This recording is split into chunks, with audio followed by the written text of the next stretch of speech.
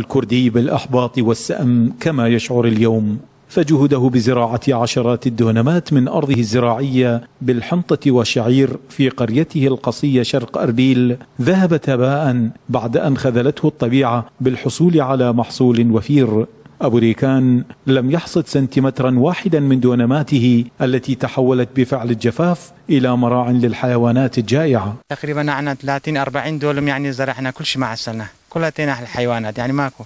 يعني أشوفك هنا أشوف شوف هذا الزرع يعني ما ما وص... ما حصل شيء بالمطر والشنو السبب اللي هو يعني مطر يعني تقريبا يعني هو ثلاث سنوات سنتين هو مطر قليل هنا ما مطر يعني أبو ريكان أعطى وعدا بتحدي الطبيعة. لكن آخرين من سكان القرية فقدوا الصبر على التحمل وقد يختارون الهجرة إذا ما استمر الحال على ما هو عليه.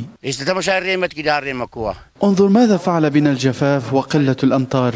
قريتنا قد تصبح جرداء يابسة لو استمر الحال بدون أن تفعل لنا الحكومة شيئا. مسؤولو الزراعة كانوا قد رجحوا منذ آيار الماضي انخفاض إنتاج الحبوب في الإقليم بنسبة 20% مقارنة بالعام الماضي بعد ظهور بوادر الجفاف في عدة مناطق في كردستان ويبدو أن تحليلاتهم كانت صائبة. بالنسبة لإنتاج الحنطة في أقليم كردستان في في السنة الحالية والموسم الحالي هي أقل بحوالي 20% من الموسم السابق.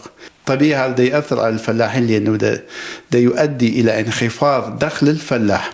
وجهود الأقليم كردستان في السنوات الأخيرة هي دعم الفلاحين من أجل تأمين مصدر مياه لغرض سقي محاصيل وبالأخص محاصيل الحنطة الشتوية ويشير خبراء زراعيون إلى أنه وفي ظل فقر الطبيعة المائي وفقر الحكومة المادي سيستمر انخفاض إنتاجية الأرض الزراعية في كردستان إلى أدنى مستوياتها. في ظل تقديرات تشير إلى أن حاجة الإقليم من الحبوب لا تقل عن 600 ألف طن من القمح سنويا. في الوقت الذي لم تصل مستويات الإنتاج من المحصول ومنذ عامين إلى أكثر من 300 ألف طن في العام الواحد.